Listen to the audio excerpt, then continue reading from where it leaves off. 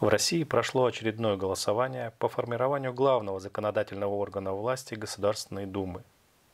Директор ЗАО «Совхоз имени Ленина» Павел Грудинин в ходе выборной кампании партии КПРФ проехал полстраны и по возвращению с полей политических на сельскохозяйственные с гордостью заметил, что дороги, проложенные среди совхозных полей, весьма хороши.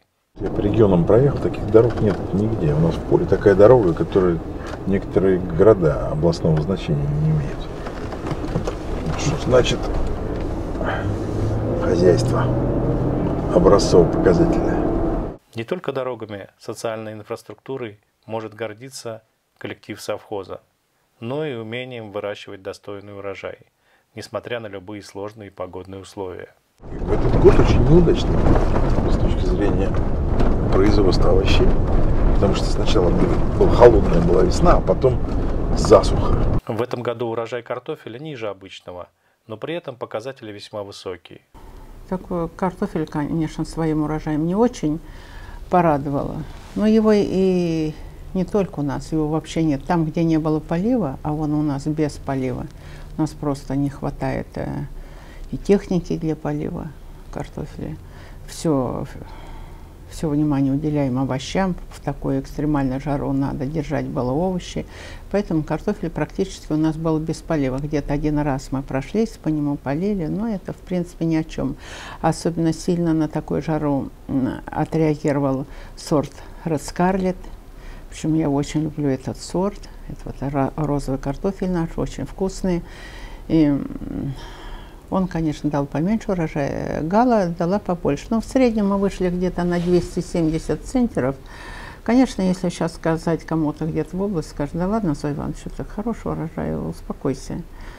Но мы привыкли, чтобы у нас был 360, 370, 400, но, к сожалению, в этом году такого не получили, но убрали. Картофель убрали, тоже погода была хорошая, мы все убрали, слава богу, заложили на хранение. Павел Николаевич побывал на сортировке и закладке картофеля. Поговорил с начальником отдела полеводства Владимиром Зининым. Сейчас цена должна подняться. Я тут в Саратове на рынок пришел, 40 рублей килограмм. А вчера что, что была за рабочая группа в озерах, чтобы снизить э, цены на борщевой набор? Пошли они нахуй. Денег дадут, что они сделают? Ничего не сделают. А там лук убирают, свеклу. Ангел ее мало на пустуш, 6-8, а всегда был 12-14. А почему? А жара была, ну, не завязалась. Мы же полили, успели как не полили бы, этого не было бы. Это мы в Шамоне взяли две плевалки, поставили на свекла, на картошку полили. Я так понимаю, что в этом году урожая не будет. А в Саратове они говорят, у нас все сгорело. А нигде, а в Кульском тоже урожая нет. надо закладывать да? Урожай в совхозе имени Ленина собран еще не весь. Кроме картофеля и свеклы предстоит еще собрать морковь, капусту и яблоки. Следующий будет морковь. А, вот. Морковь такая капризная дама из овощей. Моркови нужно влажность воздуха высокая, тогда морковь получается хорошая, она себя прекрасно чувствует. А вот на сухой воздух она реагирует очень плохо. Поэтому где морковь хорошая получается? Это Голландия, Англия, это вот страны, где получают хорошую морковь. А у нас в этом году, вы понимаете, была экстремальная засуха, и она, хоть мы ее поливали, почву поливали, а влажности воздуха не было. Она вот как замерла, стояла, я думаю, господи, ну что ж, что-то, дорогая, ну что тебе еще не хватает?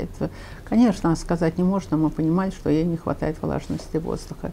И потом, э, вот сейчас, когда пошли дожди, и это, в общем-то, отразилось положительно на моркови, она сейчас стоит зелененькая, она еще вовсю растет. И поэтому мы дали ей возможность обычно порасти еще недели-две, потому что обычно мы начинали убирать где-то 20 сентября, сейчас мы начнем убирать где-то с 1 октября.